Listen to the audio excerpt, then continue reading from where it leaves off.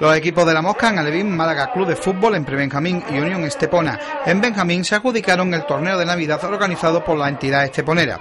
Desde las 10 de la mañana comenzaron los pequeños a disputar los encuentros divididos en dos grupos de cuatro equipos por categoría. Fueron un total de 18 conjuntos venidos de las provincias de Málaga y del campo de Gibraltar.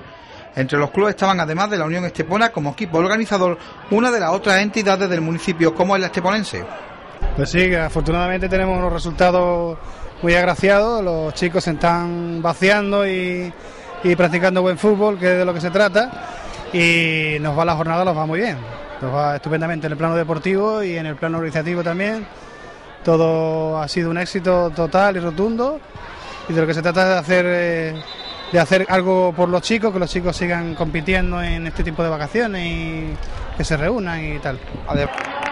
Los dos primeros clasificados de cada grupo en cada categoría se clasificaban para las semifinales. Los encuentros de grupos se disputaban a un único tiempo de 20 minutos, mientras que en semifinales y final se jugaron a dos tiempos de 15 minutos.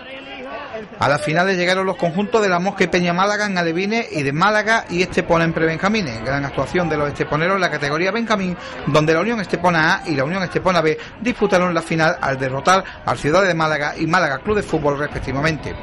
En la categoría Levín, el conjunto de la Mosca se imponía al Peña Málaga por 6-2, mientras que en Prebenjamines se vivía un choque entre los equipos A y B de la Unión Estepona, con victoria de los primeros por 1-0.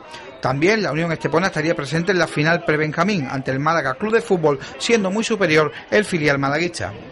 El colectivo arbitral de la localidad aportó 21 colegiados a este encuentro, donando todo su honorario para el Banco de Alimentos. Evidentemente hace falta también colaborar con la gente que más lo necesita hoy en día, ¿no? Digamos, y nuestra opción eran varias, pero hemos barajado esta que es la más conveniente para el comedor social de Estepona.